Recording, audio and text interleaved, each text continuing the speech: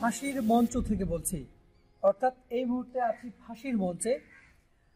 ঢাকা পুরাতন কেন্দ্রীয় কারাগারের এটিই হলো সেই ফাঁসির মঞ্চ, যেখানে কয়েকশো ফাঁসি কার্যকর করা হয়েছে।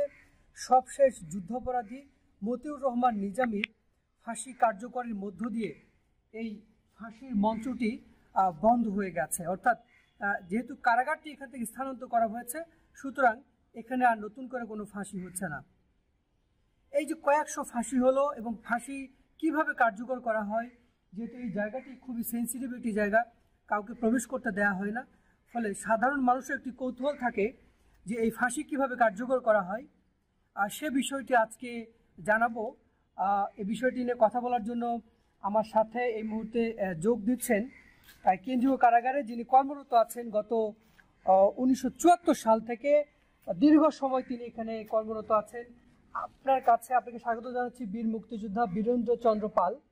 আপনার কাছে জানব যে আসলে এই ফাঁসির মঞ্চটি এটি কখন এখানে স্থাপন করা হয়েছে এবং আপনি কতগুলো ফাঁসি দেখেছেন? আমি তো কার্যকারী হইতে মানে কখন এটা স্থাপিত হয়েছে তা দেখিনি। কিন্তু পাকিস্তান আমল থেকে এটা কার্যকারী। কিন্তু স্বাধীন হওয়ার পরে সর্বপ্রথম ফাঁসি আমি কর্নেল তাহেরকে দিয়ে দেখছি।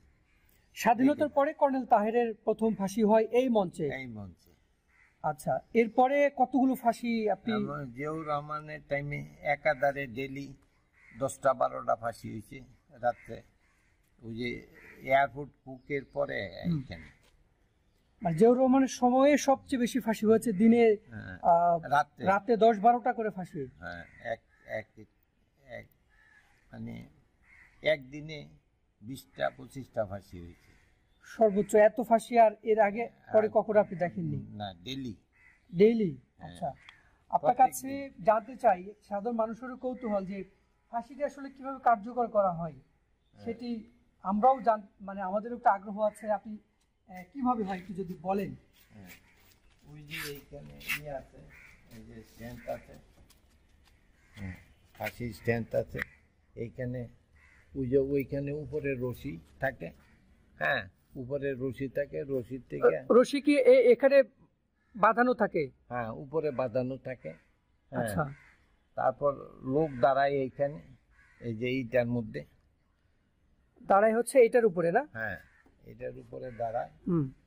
এই যে এই জিনিসটা ওই এখানে একটা লক আছে। লক ওই লকটা ওইভাবে ধাক্কা দিলে ওইটা লকটা সরে যায়। সরে যায় তখন নিচে পড়ে যায় পাশে।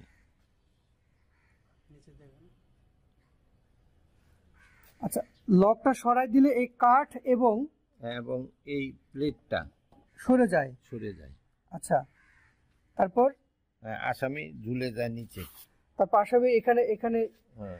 এখানে ঝুলে থাকে না? হ্যাঁ ঝুলে থাকে। ডাক্তার পরীক্ষা করার পরে এই দিকটা লাশটা বাইট করে। আচ্ছা। এখানে কি দেখা যাচ্ছে এগুলো কি ব্লাড না।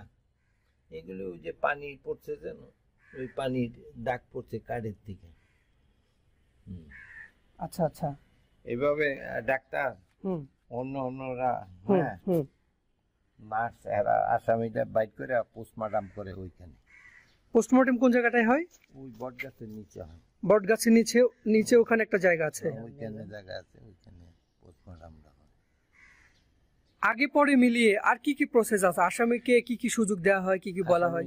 তার বলা হয় সে কি খাবে তার ওই খাওয়া দাওয়ার একটা সুযোগ দেওয়া হয় তারপরে তাকে গোসল টুসল করানো হয় তার অনুযায়ী ফাঁসি কার্যকরী করা হয়।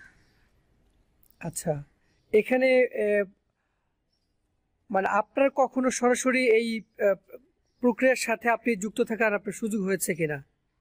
না মানে আমরা ওই বিদ্যুৎ টিদ্যুৎ যে লাগে হুম। ওই বিদ্যুতের অ্যারেঞ্জমেন্টটা আমরা করি। আচ্ছা। এবং ওইখানে আমরা থাকতে হয়। কখনো কি এরকম কোনো ফাঁসির আসামির সাথে কথা হয়েছে?